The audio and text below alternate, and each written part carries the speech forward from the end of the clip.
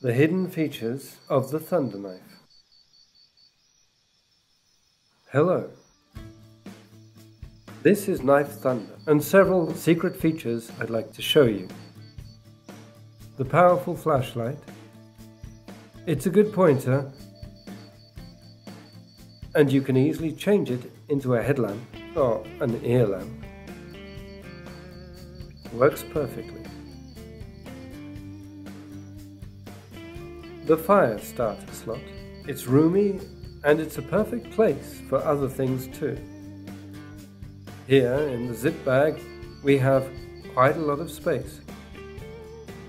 Some cotton wool and a clip. The clip, what's it for? Let's check how the fire starter works with the cotton wool. One, two, three. And it works.